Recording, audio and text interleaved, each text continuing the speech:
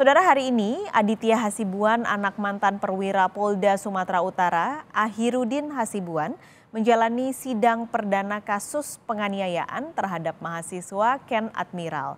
Sang ayah Ahirudin Hasibuan telah disangsi pemecatan tidak hormat karena kasus penganiayaan ini dan sederet perkara dugaan korupsi.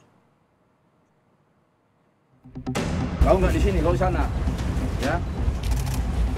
Saya sudah siap saya.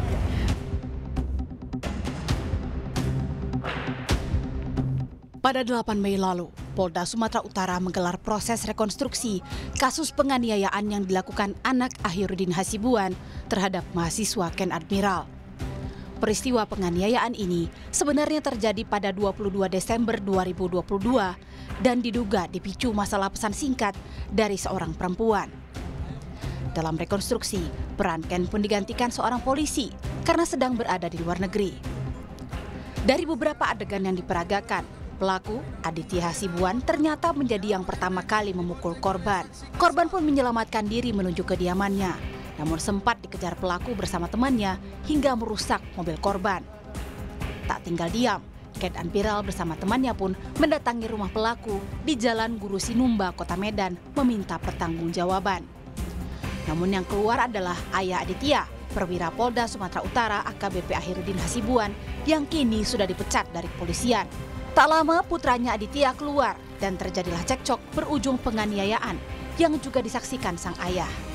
Pada adegan ke-8 rekonstruksi ini, AKBP Ahirudin sempat emosi karena menilai rekonstruksi tidak sesuai dengan kejadian versi dirinya.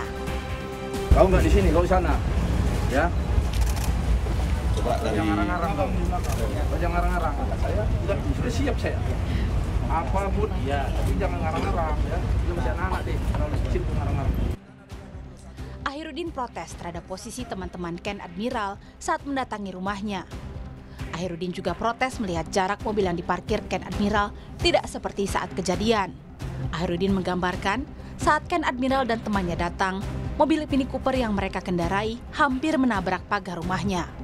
Dalam adegan lainnya, AKBP Ahirudin menyebut telah memberikan uang sebesar 1 juta rupiah sebagai biaya berobat untuk Ken Admiral.